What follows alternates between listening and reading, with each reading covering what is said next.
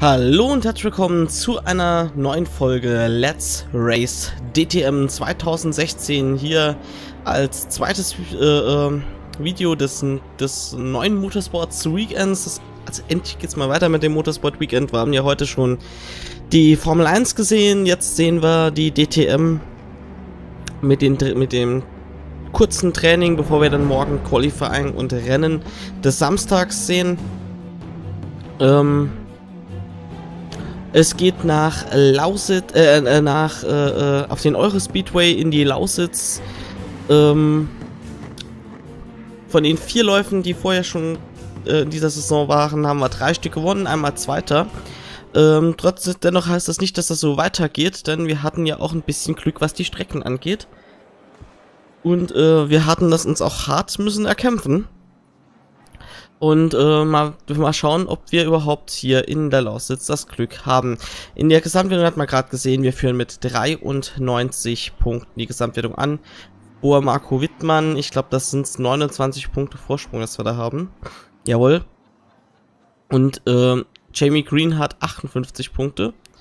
Ähm, als unsere ärgsten Verfolger in der Teamwertung führt unser Team RBM mit vor dem Team RMG, also Doppelführung hier für BMW. Und in der Herstellerwertung haben wir 49 Quatsch, 39 Punkte Vorsprung vor Audi. Und Mercedes ist weit abgeschlagen im Moment. Aber wir haben erst zwei von neun Rennwochenenden der DTM hinter uns. Insofern springen wir jetzt einfach ins freie Training.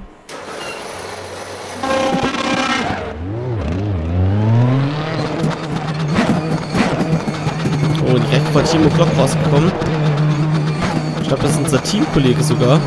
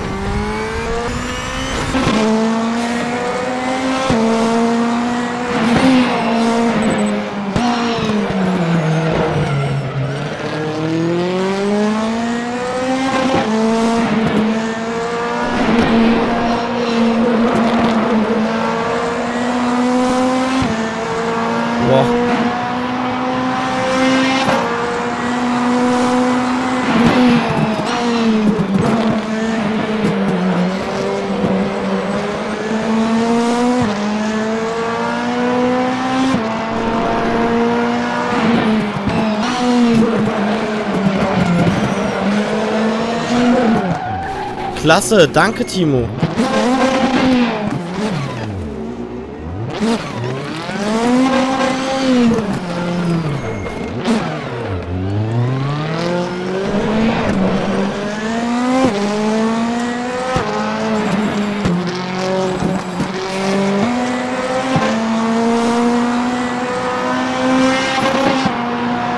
So, der Euro Speedway Lausitz wurde als Highspeed-Strecke als Ersatz für die Berliner Avus gebaut, die ja doch eindeutig zu gefährlich wurde.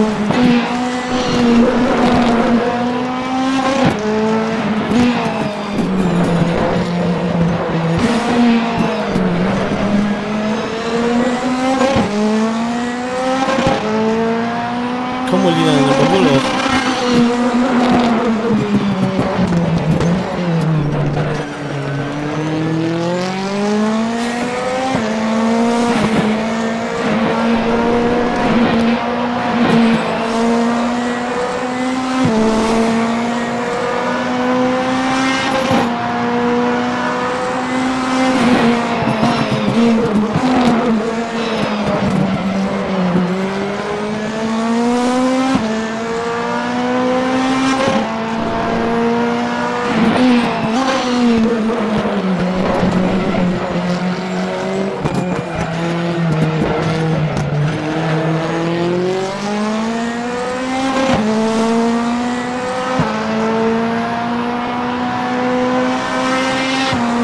Hier fanden ja sogar schon Champ-Car-Rennen statt.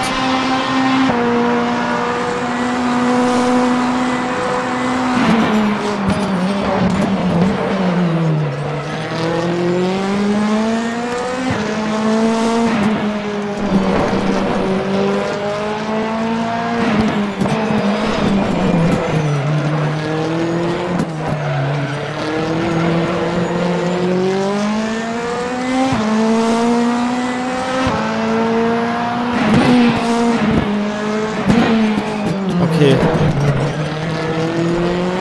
Vielleicht sollten wir hier einmal irgendwann mal die Rennlinie einschalten, aber ich glaube, das gibt es gar nicht.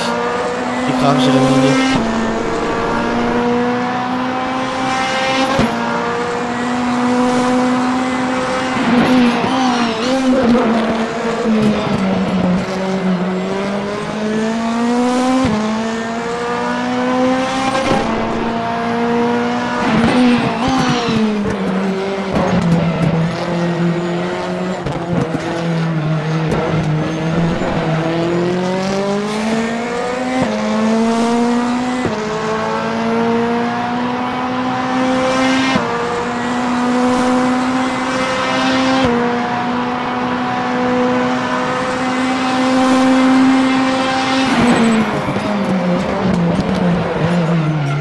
Okay, das war eindeutig zu spät gebremst. Ich fahre mit Absicht mit der Außenkamera, um ein bisschen mir äh, die Streckenführung einzuprägen. Okay, hier kommen wir.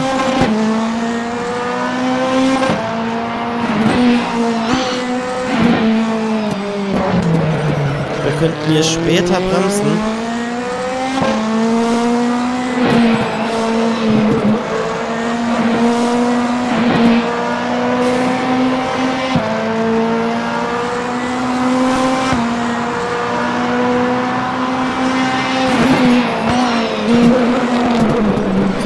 Hier machen.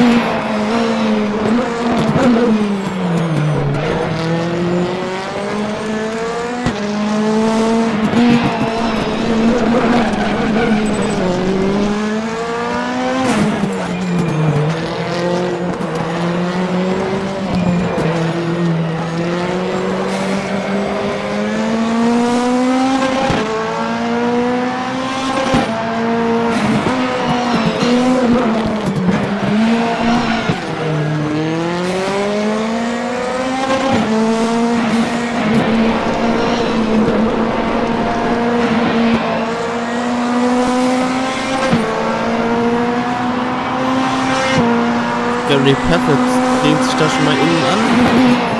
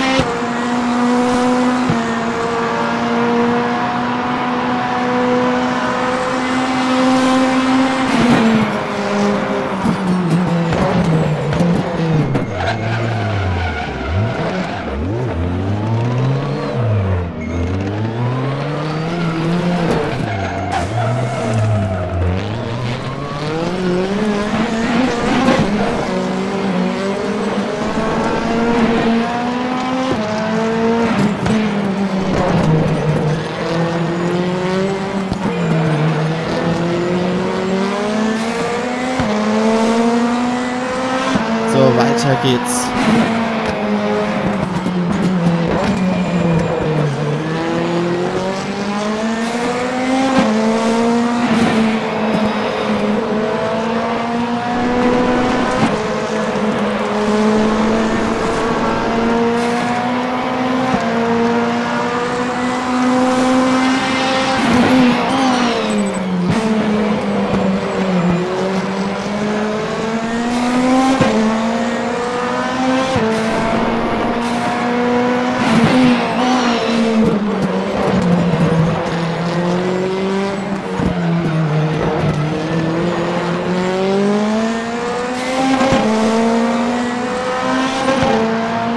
Uns haben wir jetzt Timo Scheider, der dieses Jahr ja die gesamte Saison der Rallycross WM fährt.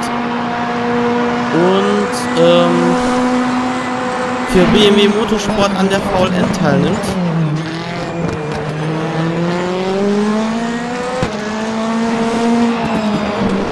Äh, an, ja, an der VLN teilnimmt, so rum. Damit auch am 24-Stunden-Klassiker von Nürburgring.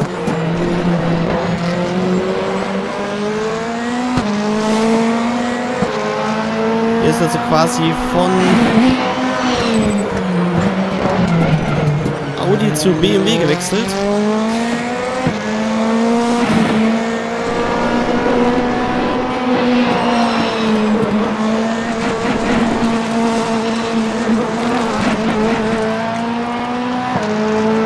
Wer dazu gesagt sei noch,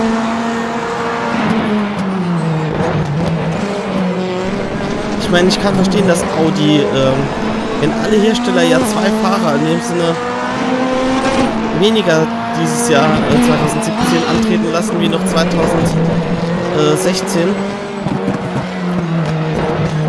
muss der Kader ja sowieso der bestehende verkleinert werden.